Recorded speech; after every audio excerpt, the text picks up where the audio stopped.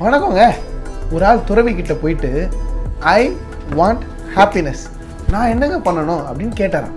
அதற்கு அந்த துறவி உன் வாழ்க்கையில் முதல்ல இந்த ஐ அதாவது நான் என்கின்ற கர்வம் ஈகோ இதை உன் வாழ்க்கையிலேருந்து எடுத்து போட்டுருன்னு சொன்னாராம். ரெண்டாவது வாண்ட் ஆசைகள் தேவைகள் தாண்டி ஆசைப்படுறது உன் லைஃப்லேருந்து எடுத்து போட்டுருன்னு சொன்னாங்க இது ரெண்டும் உன் வாழ்க்கையிலேருந்து போயிடுச்சுன்னா மிச்சமாக இருக்கிறது ஹாப்பினஸ் இதுதான் நீ சந்தோஷமாக இருக்கிறதுக்கு வழின்னு அழகாக சொல்லி கொடுத்தாரான் சந்தோஷத்தை நாம் எப்படி பெற்றுக்கொள்வது? வேதாகம் அதுக்கு ஒரு அழகான வழி சொல்லுது. நான் வாசிக்கிறேன் நீங்கள் கேளுங்களேன். உம்மை நம்புகிற யாவரும் சந்தோஷித்து என்னாலும் கம்பீரிப்பார்களாக. நீர் அவர்களை காப்பாற்றுவீர். உம்முடைய நாமத்தை நேசிக்கிறவர்கள் உம்மில் களி கூறுவார்களாக. ஆண்டவரை நம்புகிற எல்லாரும் ஆண்டவரை நேசிக்கிற எல்லாருக்கும் நிச்சயம் சந்தோஷம் உண்டுங்க.